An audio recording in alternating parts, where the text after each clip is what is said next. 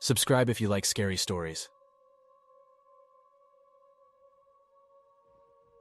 My name is Bob, and I've been living in a flat on top of a shop for about five years. It's an aged structure, but it has a certain charm, and it's situated in a lively section of town known for its nightlife. I'm not really a party goer, but the vicinity is often teeming with intoxicated folks during the weekends and even some weekdays. On the street level, there's a nondescript door nestled between two shops. It's easy to overlook, and many pedestrians likely pass it without realizing. This door is never locked, so anyone can waltz into my building and approach my flat without needing a key. My flat isn't the only one accessed through this door. There's another flat that houses a couple of university students whom I seldom cross paths with. One regular Friday evening, I got home from hanging out with my pals. It was around 1 a.m., and I was drained. Ready to hit the hay, I headed straight to my bedroom and drifted off to sleep. But not long after, I was roused by the sound of conversation in my living room. At first, I assumed it was my flatmate, but the voices didn't match. Plus, he was supposed to be out of town for the weekend, so it couldn't be him. Cautiously, I got out of bed and crept towards my door to eavesdrop. Two men's voices were discernible, and they sounded like they had a few drinks in them. Realizing I had to act quickly to prevent any mishaps, I took a deep breath and emerged from my room. The sight of two men looking startled greeted me. One was clutching a beer bottle and the other, a lit cigarette. They stared at me as if I was the one out of place. What are you doing here? I managed to say, attempting to come off as intimidating as I could. However, my words were met with a laugh from one of the men. Both were evidently intoxicated and didn't seem to take my presence seriously. I could sense my pulse quickening and a surge of adrenaline filling me. What are you doing here? I demanded again. This is my place, and you've got to get out right now, I hollered. However, the pair just cackled once more and carried on their conversation as though I was invisible. I could feel my irritation and fury mounting. I knew I had to do something to drive them out. Leave, right now, I roared, moving a bit closer to them. That's when they turned more hostile. One of them shoved me back, and I lost balance, stumbling into the coffee table and toppling a glass. These guys were heavily intoxicated, and I had no idea what they might do. I darted towards the bathroom, bolting the door behind me. I don't believe they pursued me. Immediately, I dialed 911, and the cops were there in no time. They arrested the two men and escorted them away in handcuffs. I was trembling, yet relieved that the ordeal had concluded. I spent a while talking to the police, and I chose to go ahead with pressing charges. The police discovered that the men had entered via the always open door beneath my flat. It appeared that I had failed to lock my own door that evening. It was a mortifying blunder, and I could see that the cops were slightly exasperated with me. I can't really fault them for their annoyance. I was fatigued and had been drinking too. Nevertheless, I couldn't shake off the feeling of being foolish.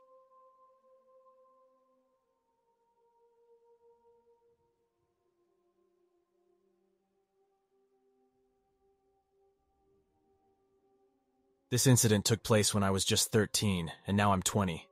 My folks were out of town due to a family crisis. Being an only kid, I often stayed home by myself without any fear. On the third night of their absence, I was engrossed in my video games, munching on snacks, when suddenly, there was a knock on the door.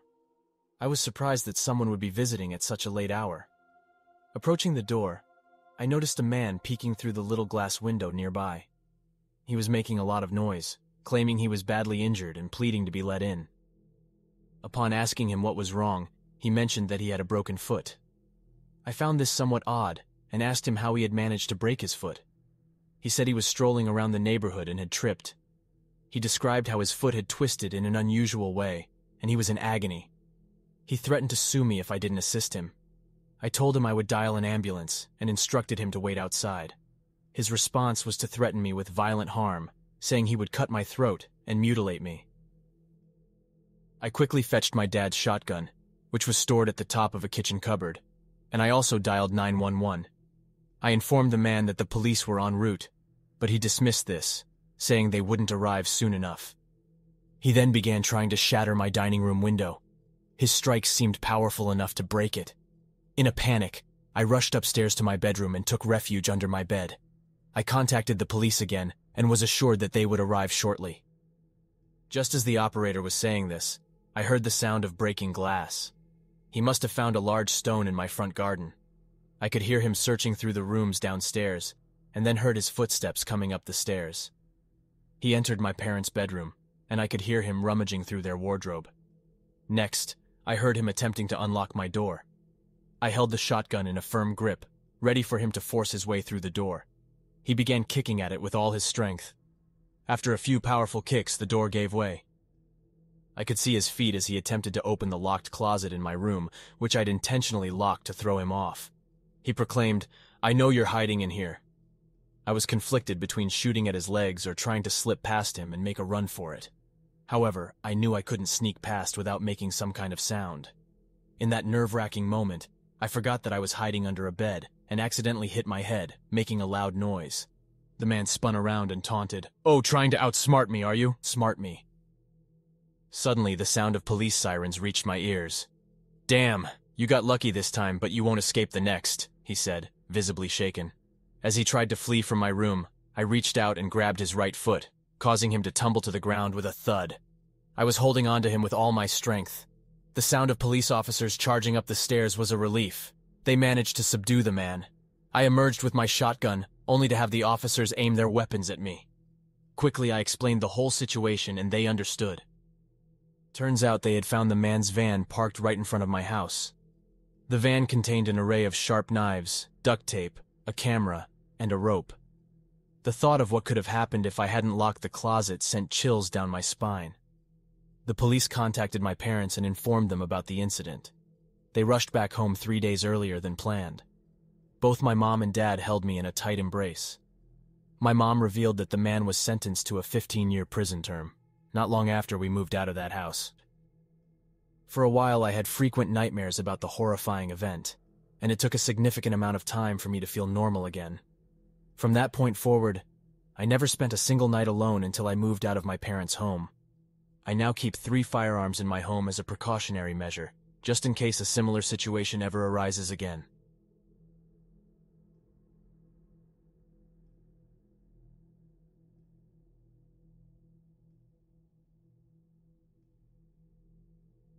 When I was 14, my folks had to go away for the weekend on their own.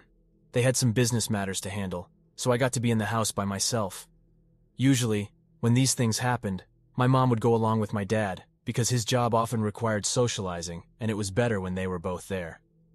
Before, I used to stay with my Uncle Sam during these times, but he had his own stuff going on, so my parents figured I was mature enough to be home alone. I was really looking forward to the weekend, with plans to just chill, watch some TV, and play video games till late, which were things I'd typically do anyway. The first evening went as usual. I hung out with my buddy Jake, who lived just down the road. Jake took off around midnight, and I headed to bed an hour later, completely zonked out by 1.30. I woke up suddenly in the middle of the night. My clock showed it was 3.30 a.m., and I could hear some odd sounds from the lower floor, like someone was moving around clumsily. At first I thought it was just a dream, or maybe I was still groggy so I tried to shake it off and go back to sleep. But the sounds didn't stop. Even so, I was so beat, I just rolled over and fell back asleep. When morning came, I had a weird sensation. Yes, the house was quiet, and I was by myself, but something felt off. I couldn't really put my finger on it, but I knew something wasn't right. I tried to shake off this creepy feeling, got out of bed and went to freshen up in the bathroom. But when I walked downstairs, I was totally shocked. The living room was all over the place. Sofa pillows were tossed around the room, the drawers of the TV unit were all open, and there were papers all over. I felt my stomach drop as I realized what had happened. Someone had broken into our house. Quickly, I went to check the front door and found it was not locked. There were no smashed windows or any sign of forced entry. That's when I figured that the burglars must have walked right in through the front door which I, to my dismay, remembered leaving unlocked. I couldn't help but feel a bit of guilt and stupidity about it. The gravity of what had happened began to dawn on me, and a wave of anxiety washed over. I was unsure of the next steps or who to contact. I tried reaching my parents, but there was no response to my calls or messages. Here I was, all alone, terrified, feeling exposed, and fearing the robbers might return. Deciding to involve the authorities, I called the police. They instructed me to stay outside the house until they got there. So, there I was, in my PJs, standing out in the chilly morning air, anxiously awaiting the arrival of the police.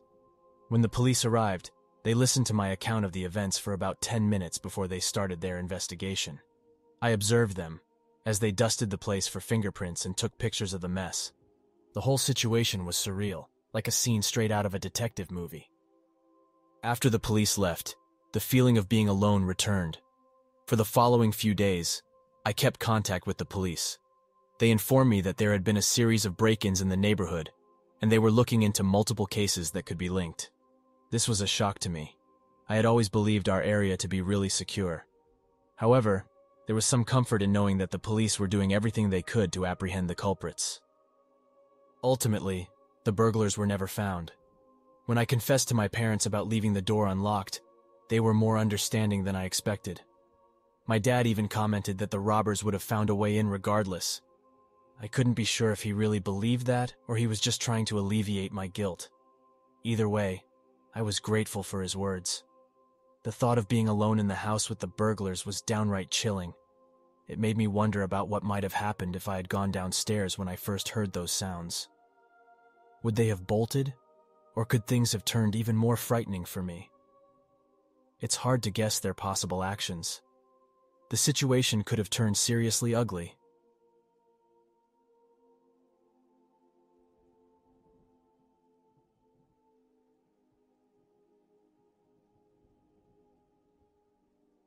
This story is from more than a decade ago, but I still bring it up now and then. It's the spooky tale I like to share when we're sitting around a campfire. When I was just 12, my mom began leaving me by myself at home. You might think that's a bit young, but I was pretty grown up for my age, and my mom had to work quite a bit. That's how I rationalize it, at least. We lived in a two bedroom flat in a big complex not far from a main road. One evening, like many others, I was alone at home while mom was out working late. I was watching some TV and gradually getting through my schoolwork. Suddenly, there was a loud, explosive sound. I wasn't sure where it came from exactly, but it sounded like a gunshot. I hadn't never heard a gunshot up close, so I wasn't certain. The sound wave rattled my young body thoroughly. It was like being struck by a speeding vehicle. The impact was truly intense. Without a second thought, I leapt to the floor and took cover beneath the coffee table. Noise erupted outside my apartment, in the hallway but I couldn't figure out what was going on. The gunshot echo was still reverberating in my ears, and I was utterly terrified. I tried my best to keep my cool, but my mind was swirling with fear and thoughts of what might be occurring just beyond the apartment door. I wanted to ring the police, but my phone was out of reach, charging in the other room. I was too petrified to move, so I just lay there and wait. Then, the wailing of sirens started. Gathering all my bravery, I dared to peek through the window. Initially, only a single police car showed up, but soon, more began to pour in. Before I knew it, around a dozen police cars and a couple of fire engines were parked in front of my apartment building. Voices were audible from outside, yet I couldn't discern what they were saying. A sickening sensation started to churn in my belly, and I longed for the comforting presence of my parents. The fear of being alone was overwhelming. After what seemed like an eternity, but was probably just a couple of minutes, the hubbub outside started to subside. I could hear the murmur of police officers conversing and the static filled sound of radios chattering. I wondered what had transpired and if anyone had been injured. Then, a knock came at my door. I was petrified momentarily. My mom had always instructed me not to answer the door when I was alone, but if it was the police, perhaps it was an exception. Next, I heard a voice announcing it was the police and requesting that I open the door. I ambled over and hesitantly unlocked the door. Standing outside were two police officers with grave expressions on their faces. One of them inquired if I was all right, to which I just nodded. Tears were streaming down my face by then. When he asked if my parents were around, I informed him that they weren't, but I provided him with my mom's contact number. They phoned her and stayed with me until she returned home. As it turned out, my neighbor, who I'd only noticed a few times, was a fugitive. He'd been residing there for several months and was implicated in at least one murder. The police had been summoned when his firearm discharged accidentally. I was astounded and couldn't fathom that an individual of that sort had been dwelling so close to me. The police officers commended me for my bravery, saying I did well to stay composed during the external turmoil. The neighboring apartment was cordoned off for several days thereafter. They employed some sort of tape to seal the door whenever they left the scene unattended for a day or two. The adhesive left a residue on the door that never really disappeared. I continued living in that building until I turned 18, and each time I walked past that door, I would spot the residue marks and be reminded of that terrifying night.